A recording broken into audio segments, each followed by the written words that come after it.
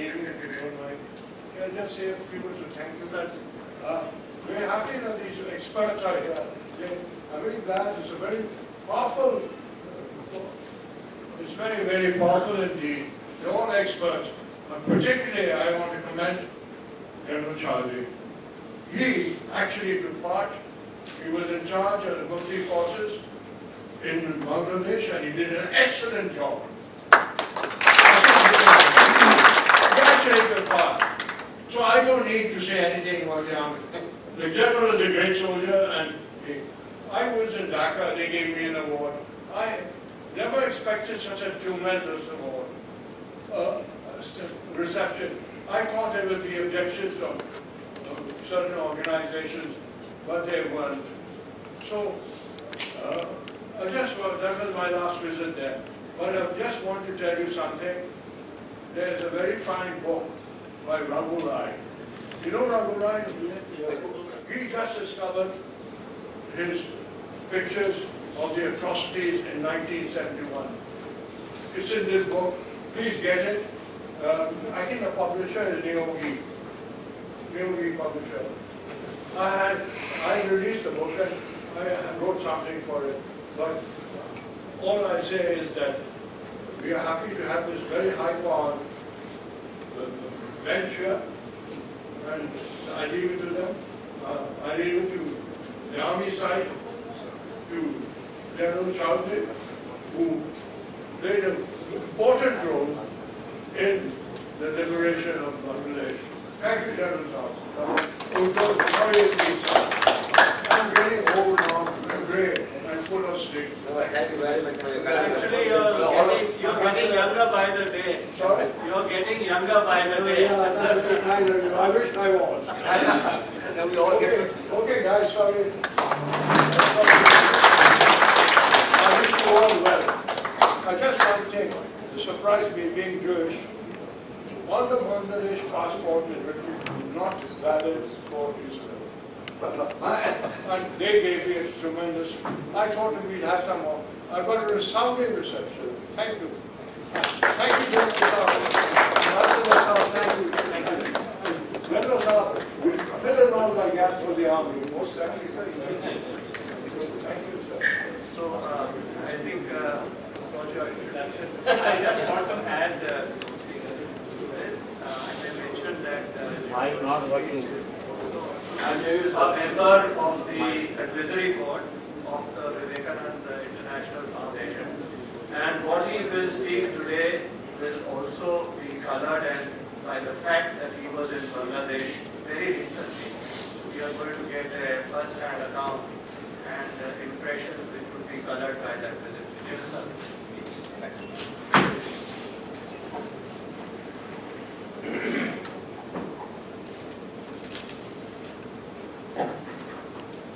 Uh, Good evening, namaste.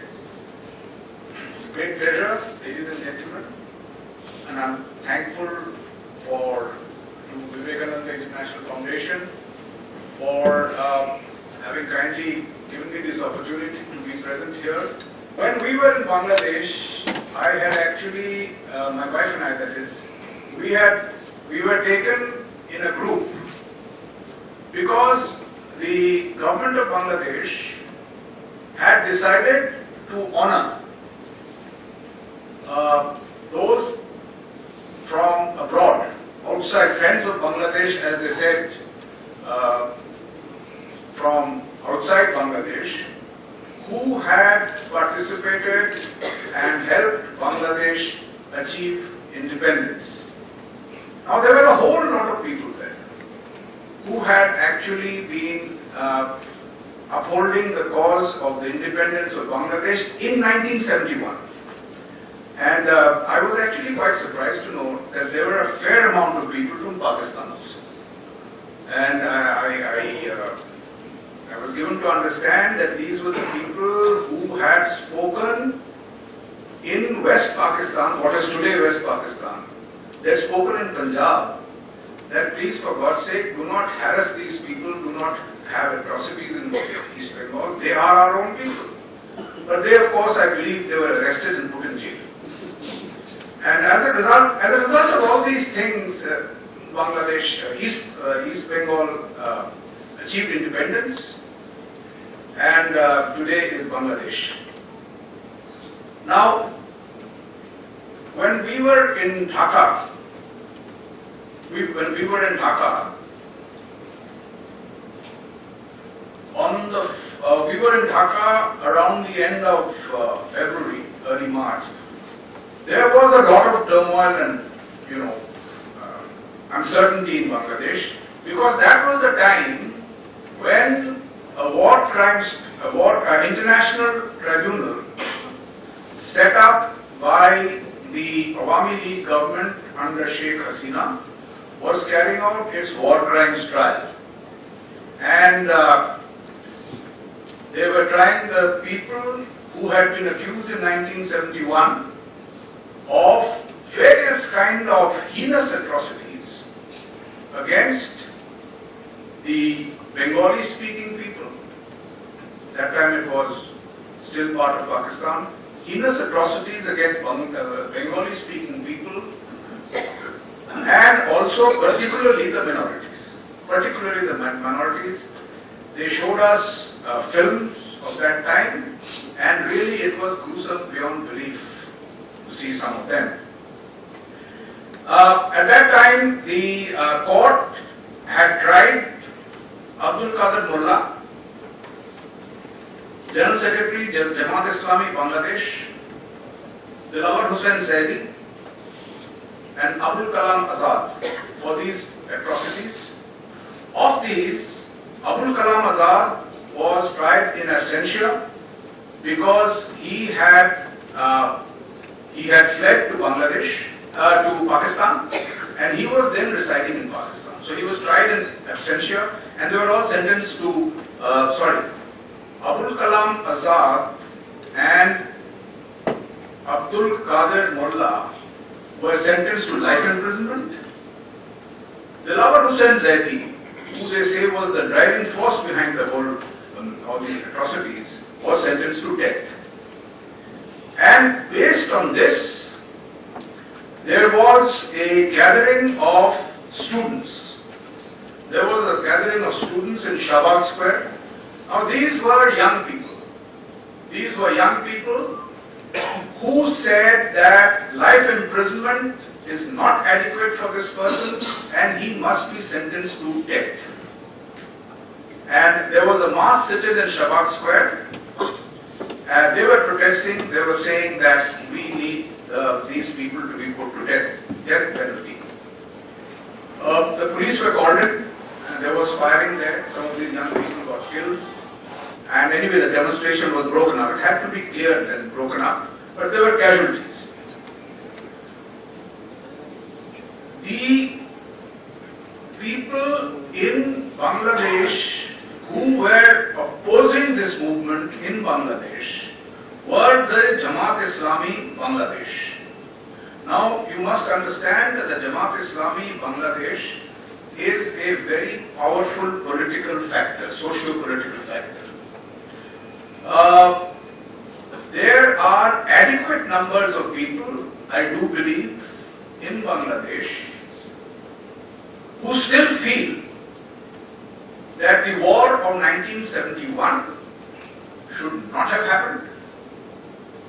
The, uh, it was a family quarrel, as they put it, between two members, two branches of the same family.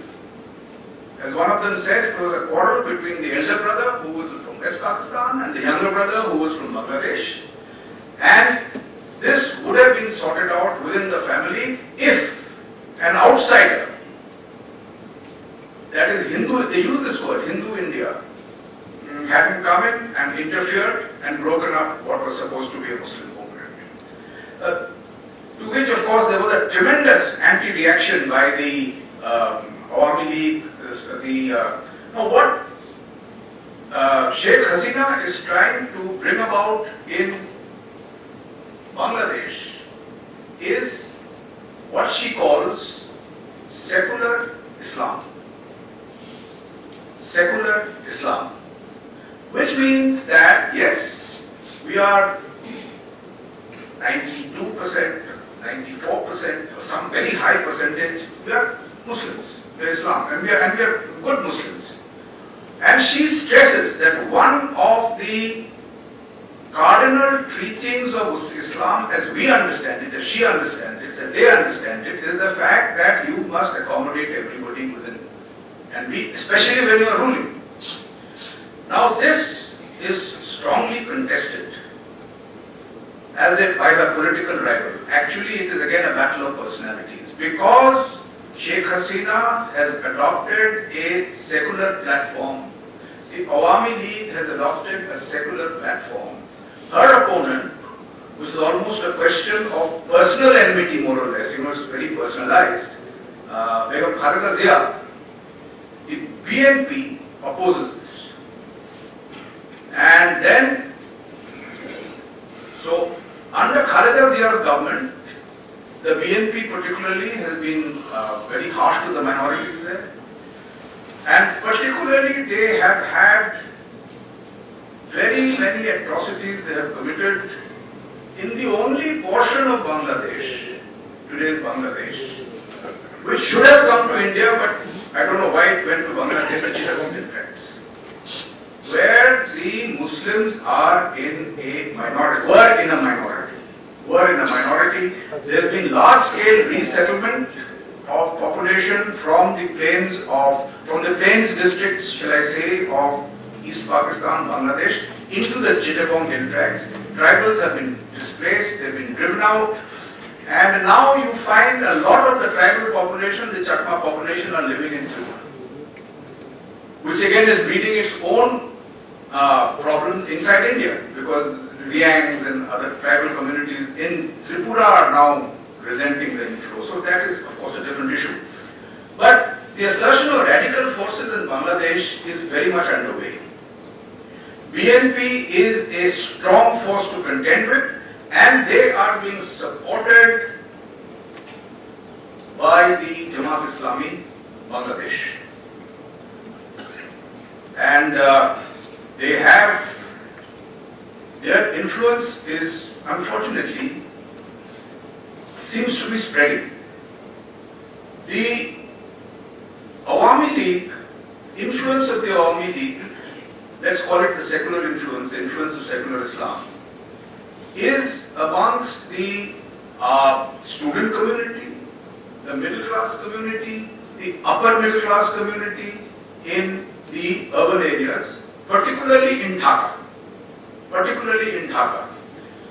In the villages, in the villages, a, a more uh, fundamentalist view of Islam prevails. Amongst the rural community, uh, education levels are not high at all.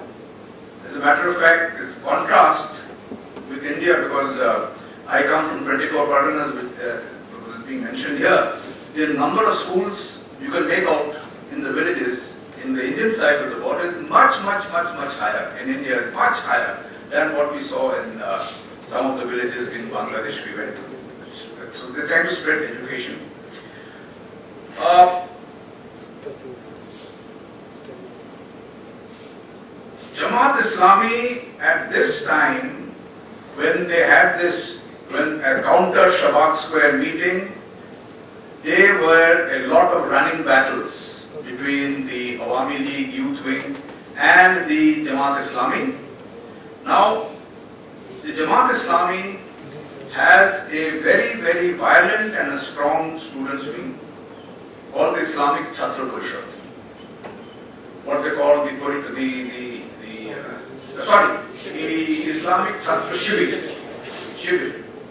Islamic Chhatra Shibir and what they call the shibir in, in and this is a very strong uh, uh, fundamentalist movement, is gaining ground. It's a very strong fundamentalist movement. And there were a lot of running battles in Dhaka between uh, the, the uh, Awami League youth, youth wing and the primarily the Shibir.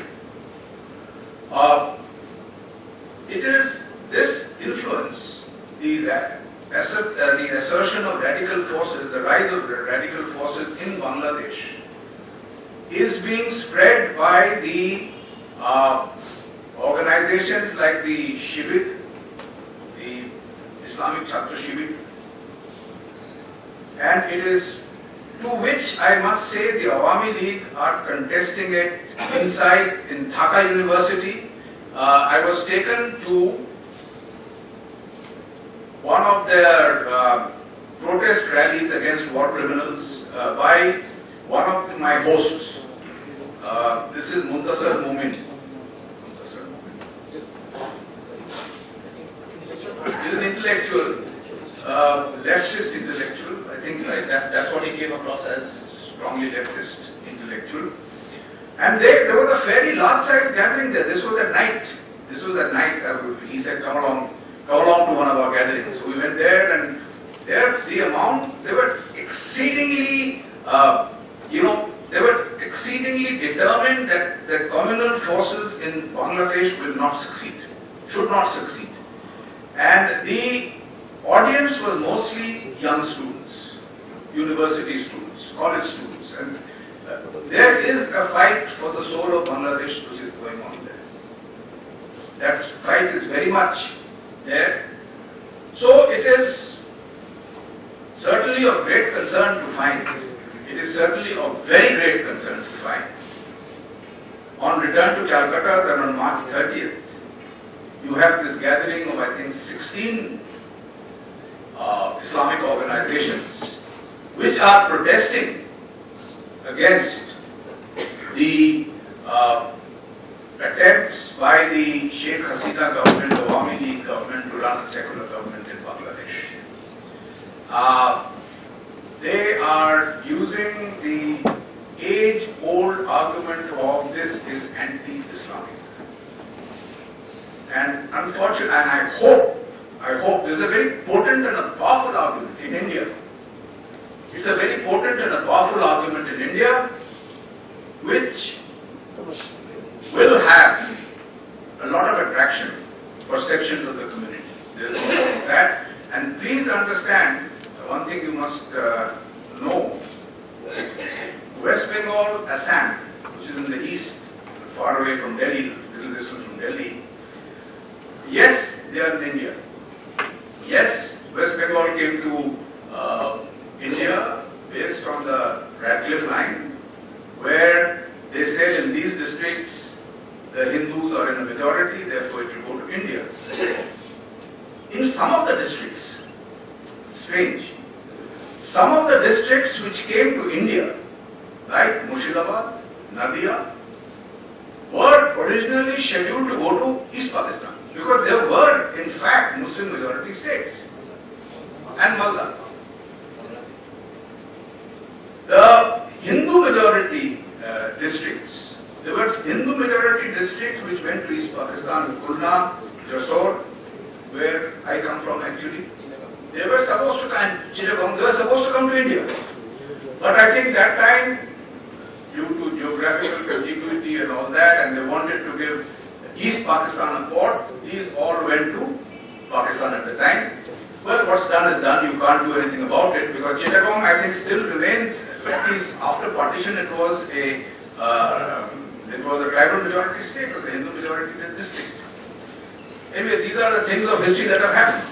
But now that the radical forces in Bangladesh are coming up, and I've seen some of it happening in front of me, they are a potent force.